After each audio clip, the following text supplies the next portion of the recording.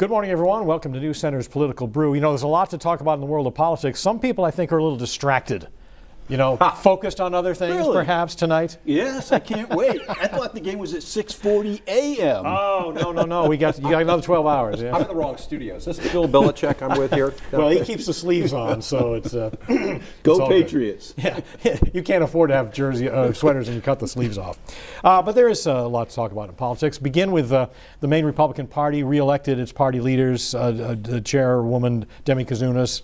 Uh, who has not been known for selling the party message all that well, but Governor Paul LePage likes her, wanted her to stay in that job, and she is saying she wants to see Republicans be a little more confrontational as they take on the Democrats now that the GOP is in the minority. Uh, Phil, is that the right approach for the party? Well, I think it, it is uh, in the sense that you need to have an alternating current of po- uh, political discourse for people to decide where they really come down on issues. I think it's how you do it. And for the Republicans now in the minority, it is their responsibility to challenge the majority, to make sure that the policies that they have enough votes essentially to do whatever they want have been well thought out. John?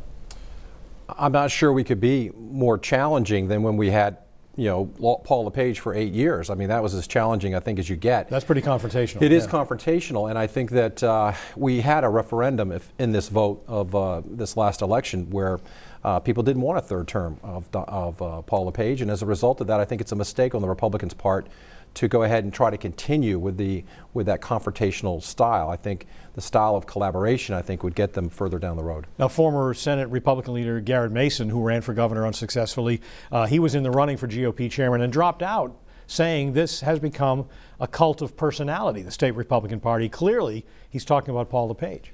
I think Garrett Mason's an up and comer within the Republican Party if they would embrace him. And I think that uh, he probably stepped away because it's not his style. It's not his style to be confrontational. He's more about policy and he's more about working uh, you know, across the aisle. So I think they missed an opportunity uh, without uh, Garrett Mason at the lead. Yeah, I, I, I think Garrett's a, a fine person. He speaks well, he handles himself well. He's been in elected office as opposed to some of the other party leaders. I think at the end of the day, though, we have to look back, and it wasn't until Paul LePage, after Angus King, after John Baldacci, for what was 16 years before Republicans were in a majority again of, of all three branches.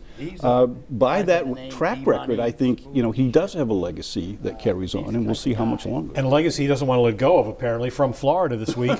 uh, Governor LePage was lashing out at Governor Janet Mills uh, from poolside in Florida. He spoke to WVOM VOM radio on Tuesday. He slammed many of Governor Mills' early initiatives, said she closed Maine for business by putting up a welcome home sign instead of open for business, um, and said he's very close to announcing he's going to challenge her in 2022. Phil, what's going on here? This It's three weeks that since he left office. Uh, let me put it this way.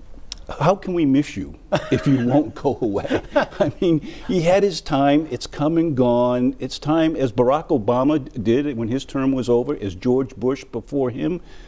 Relax. Maine governors have done Right. traditionally. Right, right. John?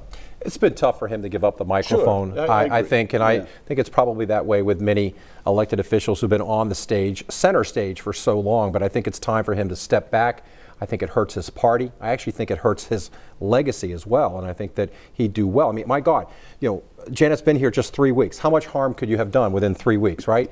and yet we hear that the sky is falling from uh, former Governor LePage. Uh, this week, uh, the uh, subject of paid family leave has been bubbling up. We knew this was coming. Speaker Sara Gideon has a, a bill she wants to propose, which may involve a new payroll tax to pay for guaranteed 12 weeks of leave for every worker in Maine. John, how is this fight likely to shape up?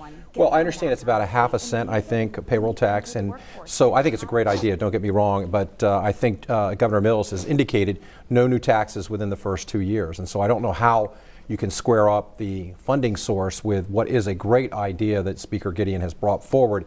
Uh, like a lot of great ideas, they cost money, and, and they'll have to look for priorities within the budget if they want to fund it. And Phil, this represents the challenge that Governor Mills, we have known, is going to face, and that is the progressive wing of the party has a big wish list. Uh, you know, you've, I think you've analyzed it just right. We're talking about this one because of the prestige of the Speaker of the House's office, Sara Gideon. It's her bill, more likely why we're talking about it. the fact is, there are hundreds of bills in the legislature working their way into the system that are going to cost money. I'm told there's almost a dozen dealing with workers' compensation uh, issues. So this is the beginning of what I think is going to be the biggest challenge for the administration, which is how do you keep your party happy that just won a big overwhelming election and not go so far as to raise taxes and be anti-business and all the rhetoric that we And, hear. and I agree with Phil. It's the pent up demand that has been there for Democrats, both in the House and Senate, and how Janet manages the expectations is going to make all the difference in the world for the next uh, 2020 election. All right, lots more to talk about on Political Brew this morning. We'll do that in the next hour. News Center and Storm Center back after this.